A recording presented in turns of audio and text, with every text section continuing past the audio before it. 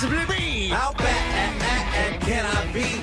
I'm just building the economy. How bad can I be?